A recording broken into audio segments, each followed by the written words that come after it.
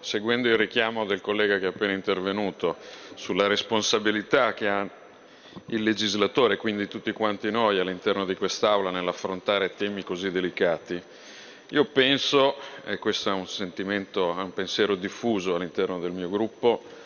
eh, che il più grande errore che possa fare il legislatore, che possa fare chi è chiamato a dare risposte a quelle che sono le emergenze, a dare risposte anche in senso appunto di norme di civiltà, sia quello di operare sull'onda dell'emotività. E questo penso proprio sia il caso, anche legati ai fatti recenti della sentenza europea sui casi della Diaz, che però non hanno minimamente tenuto conto, come ricordava il collega Cicchitto prima, di tre giorni di assalti violenti al limite dell'attacco terroristico vero e proprio, perché non solo con le bombe, con i missili o con i dirottamenti si fanno attacchi di natura terroristica nei confronti di uno Stato, ma lo si fa anche in maniera organizzata e militare, come è successo appunto nel 2001 a Genova. Quello nessuno le sofferenze che hanno subito anche fisiche, non solo psichiche o morali, gli agenti delle forze dell'ordine, quelle nessuno le ricorda, tutti quanti se le dimenticano, le mettono in un cassetto, quasi che chi opera all'interno delle forze dell'ordine debba per forza di cose subire la violenza e la stupidità di certi eh, personaggi. Noi non vogliamo invece operare sull'onda dell'emotività, anzi vogliamo rimanere coi piedi per terra e operare eh, in maniera eh, serena, ragionando con buon senso e cercando di capire quello che potrebbe essere la portata di una norma eh, eh, così ideologica, così ipocrita e così schizofrenica come quella che viene sottoposta oggi all'esame del Parlamento. Ideologica perché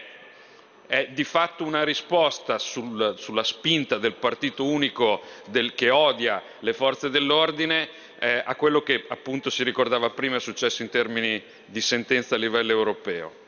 Eh, lo stesso Renzi lo ha ammesso.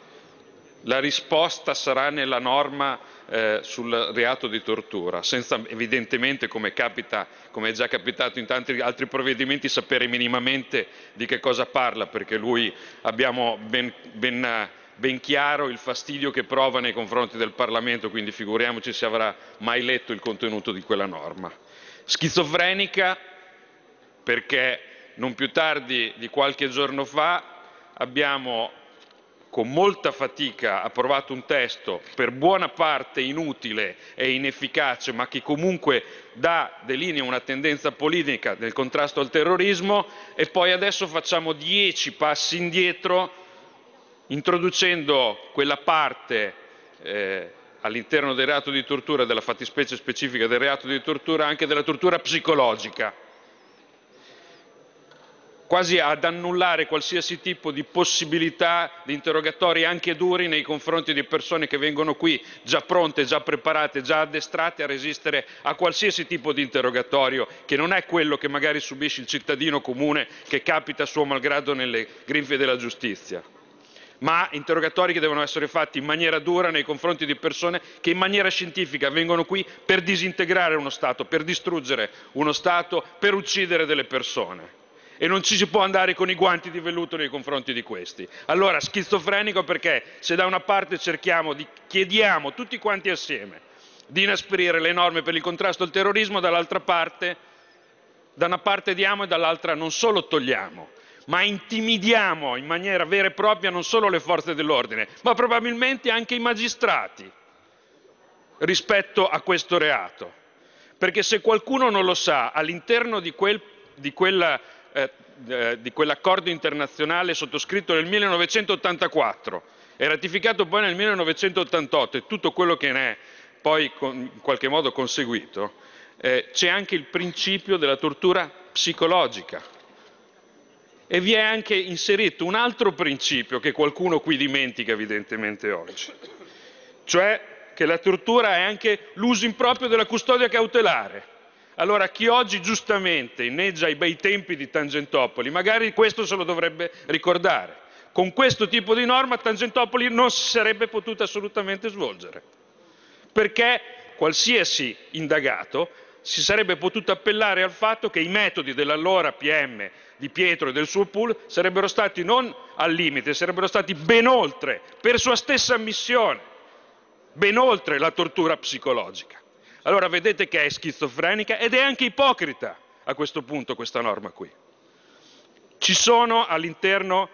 del fascicolo degli emendamenti, emendamenti che noi abbiamo proposto per rimanere appunto nell'ambito del buonsenso e non sconfinare nell'ipocrisia e non sconfinare nell'ideologia. Perché è vero che va punita va sicuramente introdotto eh, in maniera chiara la fattispecie del reato di tortura, ma deve essere ben chiaro e ben delimitato la fattispecie di reato. Non può essere a discrezione dell'interpretazione di un magistrato che magari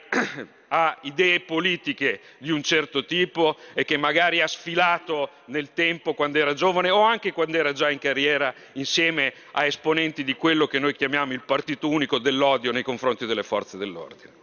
Se è così possiamo anche ragionare. Ma se non è così, noi non ci pieghiamo assolutamente all'utilizzo strumentale di una norma di civiltà per limitare il lavoro delle forze dell'ordine. È una cosa assolutamente inaccettabile, perché non è accettabile che un funzionario di polizia, anche un magistrato, chiunque debba svolgere indagini e fa il proprio lavoro possa essere sottoposto ad indagini, quando invece magari ci sono delle persone al di fuori, totalmente al di fuori della legalità, che per loro diretto non fanno altro che manifestare sfasciando le città e quelle rimangono totalmente impuniti. Noi a questa porcata qui non ci stiamo assolutamente, quindi noi chiediamo che gli emendamenti all'esame di quest'Aula che inizieranno oggi pomeriggio siano, siano da tutti quanti i nostri colleghi in qualche modo ponderati eh, ripeto, in maniera non ideologica, tenendo anche un filo logico rispetto a quello che è sempre stato detto in materia di sicurezza eh, fino adesso. Perché se così non fosse, noi andremmo a mandare un messaggio pesantemente intimidatorio nei confronti delle forze dell'ordine e anche della magistratura, abbassando e non di poco il livello di sicurezza di questo Paese.